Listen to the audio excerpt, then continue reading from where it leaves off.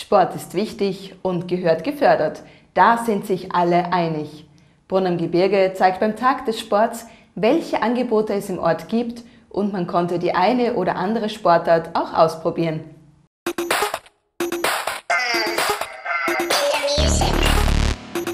Music.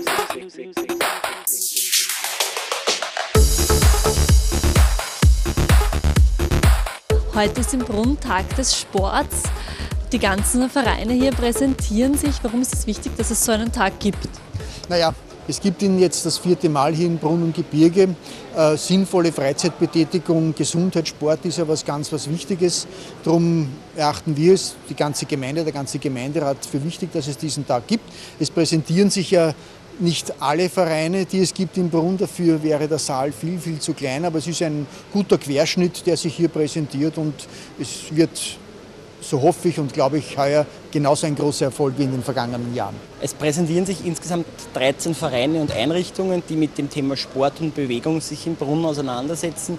Hier ihr Angebot in der Zweifachsporthalle der Marktgemeinde Brunn.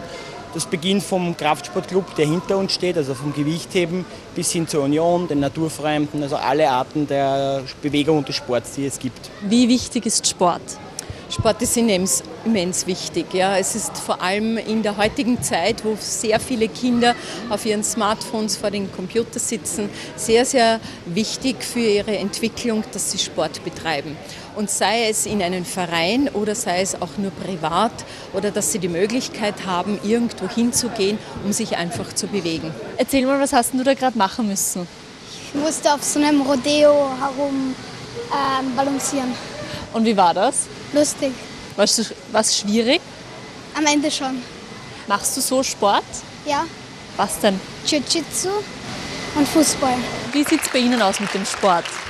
Naja, also ein passiver Sportler bin ich natürlich auf jeden Fall. Ich bin heute schon um halb sieben aufgestanden, um das Formel-1-Rennen zu schauen. Also ich bin ganz ein braver.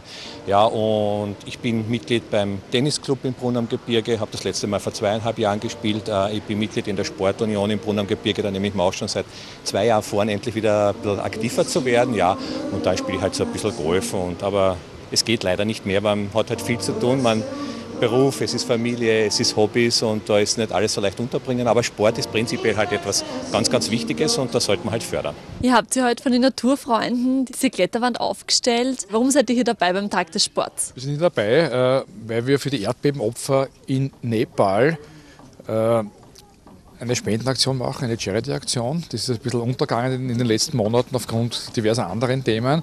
Und dass wir die Jugend auch äh, und die Kinder herkriegen, haben wir gesagt, okay, besorgen wir von der Natur von Niederösterreich diese Kletterwand. Und wie war's?